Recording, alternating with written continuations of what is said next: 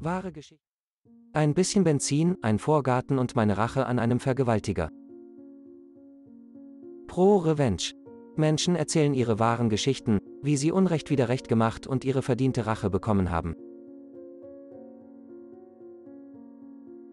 Damals in der High School, leider ist das schon lange her, arbeiteten die meisten Kinder aus der Nachbarschaft in einer Pizzeria.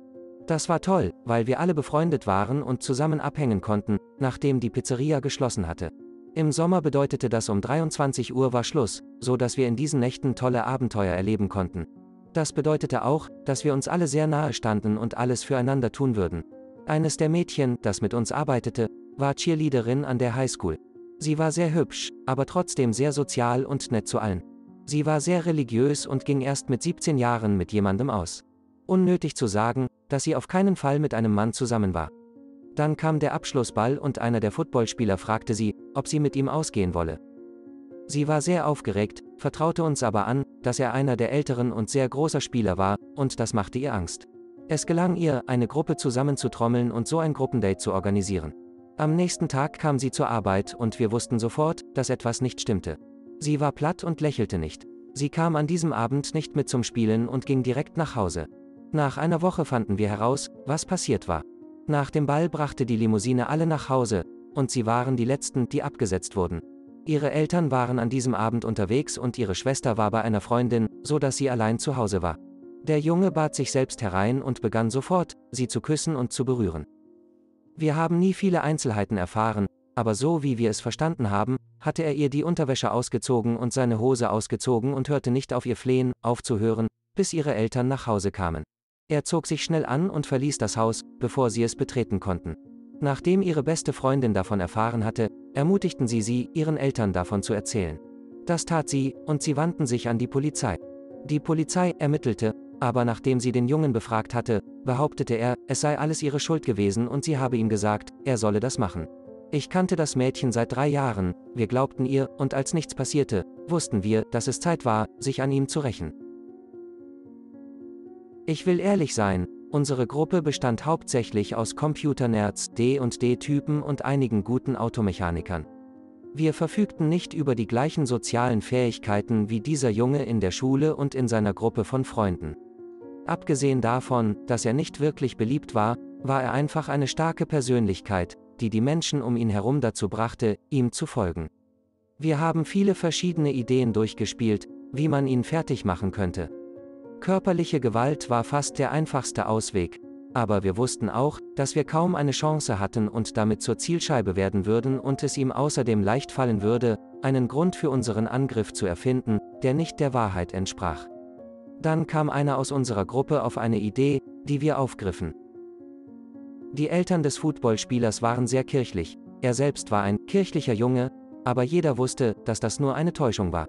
Sein Haus lag an einer belebten Straße in der Stadt, die zur Kirche führte.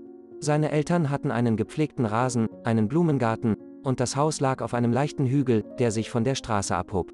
Die perfekte Werbetafel für unsere Botschaft. Zufälligerweise wussten wir, dass er und seine Familie an einem Wochenende bis zum späten Samstagabend nicht in der Stadt sein würden. Also machten wir uns am Freitagabend an die Arbeit. Wir besorgten drei Benzinkanister und schrieben in großen Buchstaben, die vielleicht einen Meter hoch waren, auf den gut gepflegten Rasen. John ist ein Vergewaltiger. Da wir wussten, dass es einen Tag dauern würde, bis das Gras vollständig abgestorben war, wussten wir, dass es am Sonntagmorgen fertig sein würde. Die Kirche begann am Sonntag um 9 Uhr, und um 9 Uhr war das Gras tot und gelb, und es stach wie ein Schild in die Stadt hinein. Der größte Teil der Stadt war vorbeigefahren und in der Kirche wurde darüber gesprochen. Um 9.30 Uhr hatte sein Vater den Rasen mit einer Plane abgedeckt und ließ ihn Anfang der nächsten Woche erneuern. Aber der Schaden war bereits angerichtet. Hier nahm die Geschichte eine Wendung, die wir nicht kommen sahen. Am nächsten Tag sprach es sich in der Schule schnell herum, was passiert war. Er war nicht da, er kam gar nicht erst zurück. An diesem Tag gingen zwei Mädchen in das Büro des Vertrauenslehrers und berichteten, dass er sie auch vergewaltigt hatte. Sie hatten gehört, was passiert war, und wussten nun, dass er eine andere missbraucht hatte, und waren der Meinung, dass das aufhören musste. Er war damals 17 Jahre alt und wurde nicht als Erwachsener angeklagt, aber er musste nachsitzen und kam nie wieder in die Schule zurück. Ich habe nie erfahren, was mit ihm passiert ist. Unsere Freundin war anfangs sehr wütend auf uns, obwohl wir nie zugegeben haben, es getan zu haben, aber sie kannte uns. Sie wusste, dass wir die weißen Ritter sein würden, um sie zu verteidigen. Ein paar Wochen später, nachdem sich alles geklärt hatte, wurde sie wieder sie selbst und sagte ihrer Freundin, sie sei froh, dass er gefasst wurde und dass er geoutet wurde. Das ist also meine Geschichte, wie wir uns an dem großen Footballspieler der Stadt gerecht haben. Freitagnacht kann es hier auf dem Land manchmal etwas verrückt zugehen, also macht es mir nichts aus, wenn meine Nachbarn Krawall machen oder eine laute Party veranstalten, solange es nicht zu verrückt wird. Heute Abend bin ich auf Abruf für die Virginia State Police Abschlepper, was bedeutet, ich habe 25 Minuten, um dorthin zu kommen, wo immer ein Wrack oder Falschparker ist oder ein Betrunkener nicht mehr weiterfahren darf. Wie es der Zufall will, feiern meine Nachbarn gerade eine Party und ratet mal, was meine Einfahrt blockiert. Richtig, etwa 25 bis 30 Autos. Ich wohne an einer unbefestigten Straße am Ende einer Sackgasse, und die ist ziemlich eng.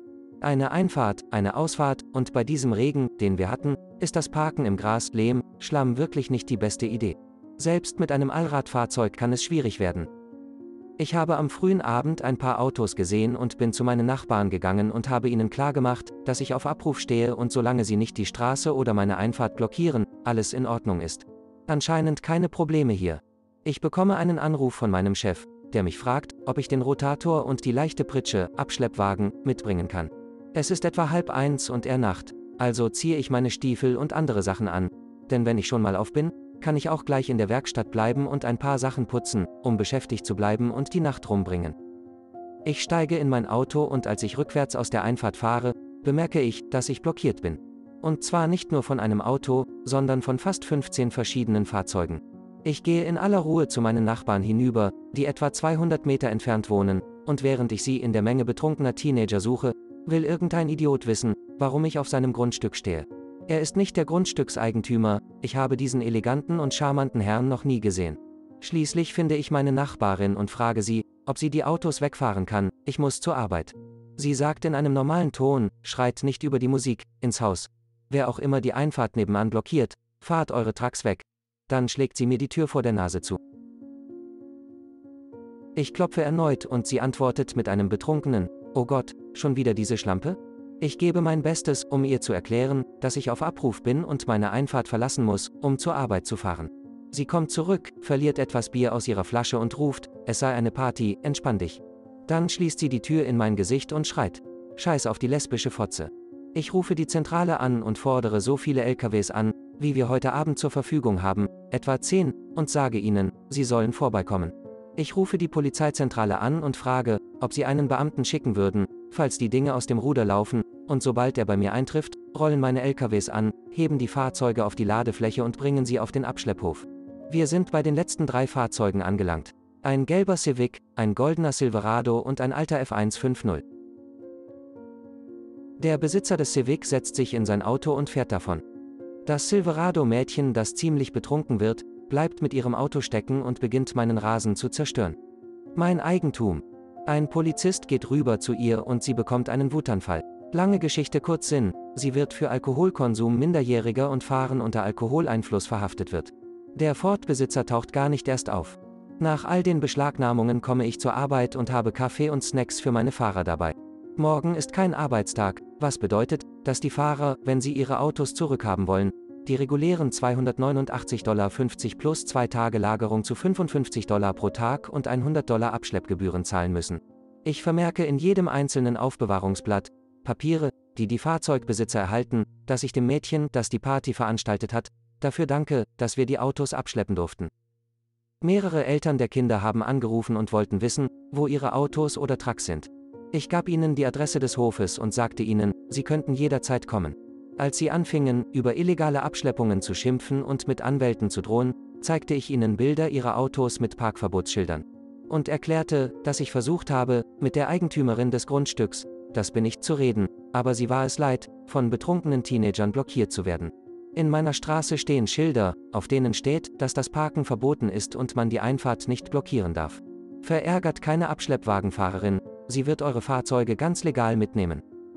Edit, die Einfahrtsgebühr gilt nur für den Feierabend, sie deckt die Kosten für die Überstunden des Büropersonals, das mitten in der Nacht aus dem Bett aufstehen und zur Arbeit kommen muss. Und wie schlafe ich nachts? Mit einem Glas Schokolade in Milch beim Lesen. Vielen Dank, dass ihr auch heute wieder vorbeigeschaut habt. Wir veröffentlichen täglich neue Videos. Durch ein Abo, das für euch komplett kostenlos ist, helft ihr uns dabei weitere Videos zu machen und ihr verpasst keins der neuen Videos.